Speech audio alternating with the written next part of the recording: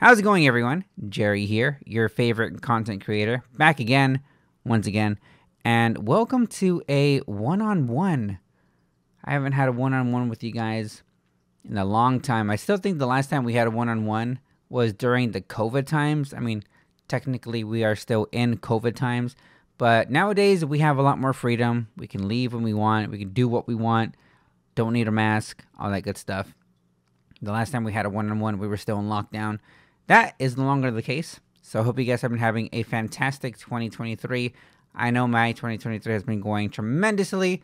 Uh, you know, my family's healthy. My son's almost five. That's insane. I just turned 29.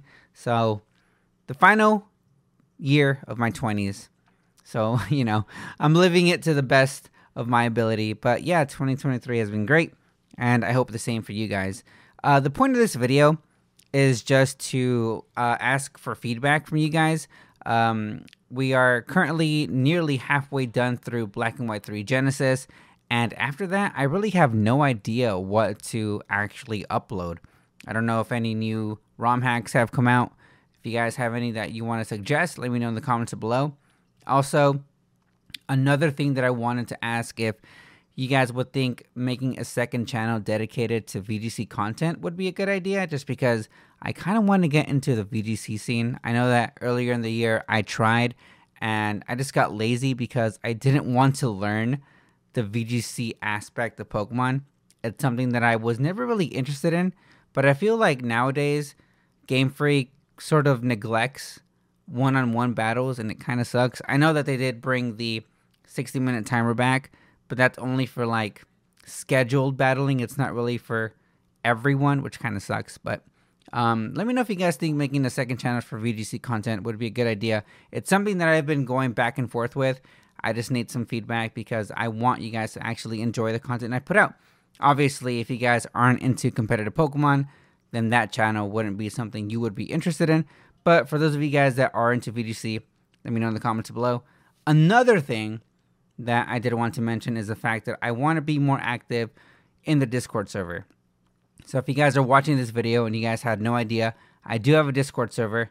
I was very, very inactive for the past couple of years, and I want to start being active just because you guys are the main reason why I still upload content.